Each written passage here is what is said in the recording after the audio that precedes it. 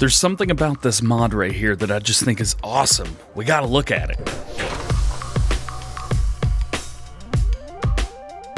What's going on, everybody? DJ Goham here. Welcome back to the channel. Hope you guys are having a great day. Today, we've got some new mods for you. Finally, it's been almost a whole week. So, what we've got for you is the Bizon Cutter Trailer. So, if you guys are using that, we've also got what I think is one of the neater mods that we have today the Fork Mount Rubber Scraper.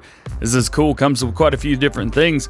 Show you guys everything. We've also got a new disc harrow as well as a, two updates.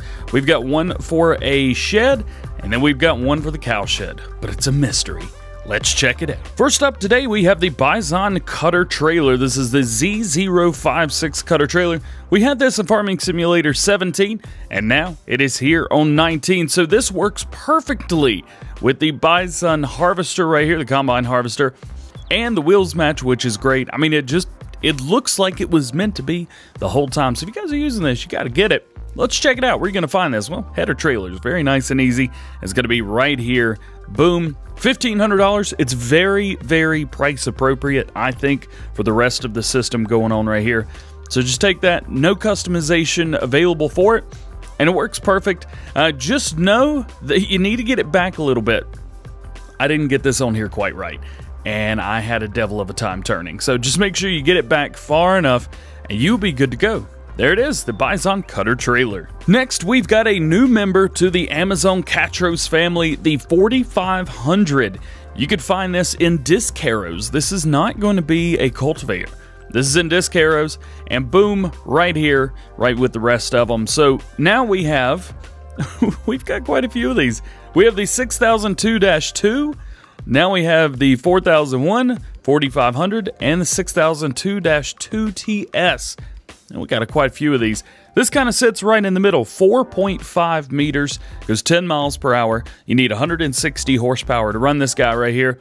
It is a three point hitch, just keep that in mind as well. And we have three different wheel options. We have a standard, we have wide tires, and narrow tires. So, whichever one you like, you can go with. Now, the price for the tires are a little bit high $1,200 for the wide tires and $1,000 for the narrow tires.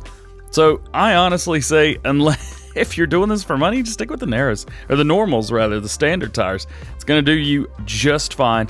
Again, there you go, the Amazone Catros 4500. Next up, this is our last new mod today. This is the Fork Mount Rubber Scraper Pack. Now, I have one issue with this, and maybe this is just a me thing, maybe this is you guys as well. Before we even get into it, the description of this in the mod hub is fork mount rubber scraper pack, heavy duty rubber scraper for use on farmyard, roads, and stables, reconditioned rubber reinforced with steel wire, durable rubber available for feed alleys and damaged delicate floors, and the rubber is reversible. Hey, that's all great. None of that actually helps us with stuff in the game. You just need to know how to use it in the game. This is not real life. Now we're done with that.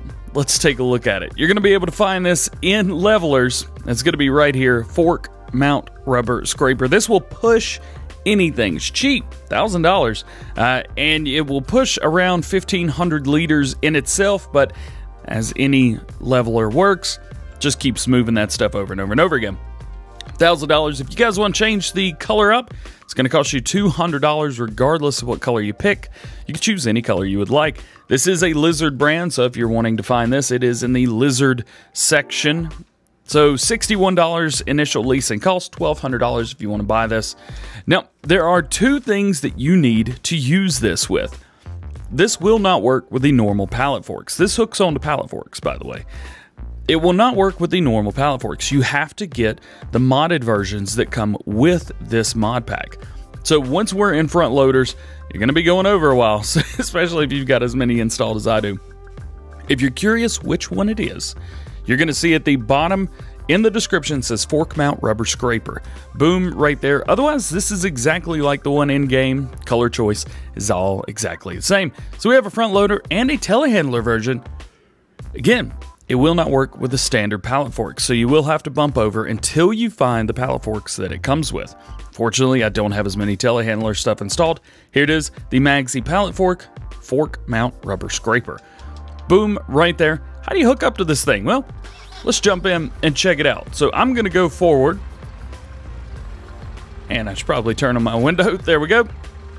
And you just hook up to it like anything normal would. Now, once you get down to the ground, you can use this to push things, you can use this to clean up animals, that kind of thing. The only issue is, I've had this happen a couple times, is when you disconnect from it, it just kind of drops it on top of your pallet forks. It doesn't drop it to the ground. So you kind of have to just get it off of there. there we go. So that that's the issue right there. And if it's upside down, it flips out. But it will load back up there. So just be cautious with this piece of equipment right here. you know, just sit it down, nice and easy. There you go. Be like be like Peter Griffin with a forklift on this. Just nice and easy. There it is. There you go. The fork mount rubber scraper pack. We've got two updates for you today. The first update is the machine shelter with lighting. So this changelog 1.0.1 added mask areas for snow. So if you are using the machine shelter with lighting, make sure that you update this so that you can use it with seasons.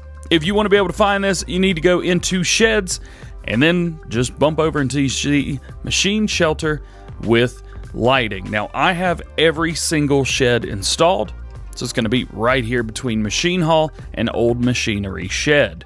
There you go, right there. Uh, there is no customization option, so whichever you use, there you go. This is where it gets interesting right here. So we have an update to the cow shed or cow barn.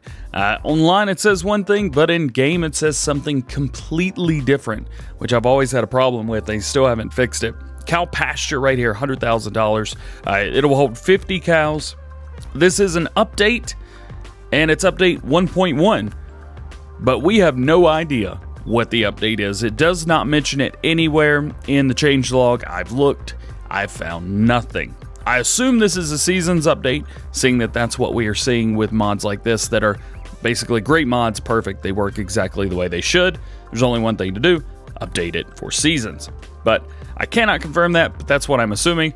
Regardless, if you are using this, make sure you go ahead and update. And if you have any issues with updating it, if you're using it in your game, let me know down in the comment section below take a look at it. All right, guys. Well, that is going to be it for today. Three new mods, two updates. That's all we've got right now. We've had a whole week of no mods in between the last ones we got and today. So hopefully we will be getting more mods tomorrow. We shall see. Make sure you stay tuned to the channel for that. But with all that being said, hope you have a great day. We will see you later. Peace.